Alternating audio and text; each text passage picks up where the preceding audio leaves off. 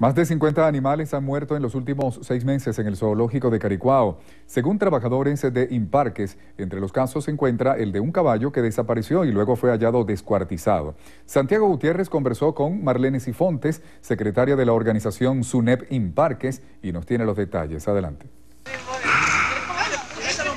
Según Marlene Sifontes, en el grupo de animales muertos figuran dos dantas, una muerta el 6 de julio y la otra el 11 de julio un cuerpo espín, un báquiro y ocho cochinos vietnamistas. Hay una realidad.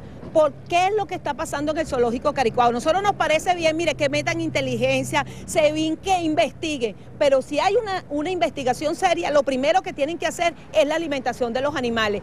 Decenas de empleados pertenecientes a Imparques han sido llamados a declarar ante la Fiscalía General de la República. Los animales súper delgados, o sea, se ha perdido la atención de los animales en el zoológico, pero es triste. Lo que estamos viviendo en el país se refleja en el parque.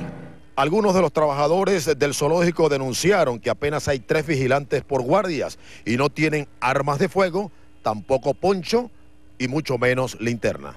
Mientras avanza la investigación por parte de las autoridades y la Fiscalía General de la República, el zoológico de Caricuao, ubicado al suroeste de Caracas, sigue siendo visitado por residentes y turistas, sobre todo en esta época de vacaciones escolares. Tanto los especialistas como las personas entrevistadas coinciden en señalar que no hay que cerrar el zoológico, sino por el contrario fortalecerlo con personal técnico, profesional y además eh, con programas de gente que incluso ha sido preparada en el exterior.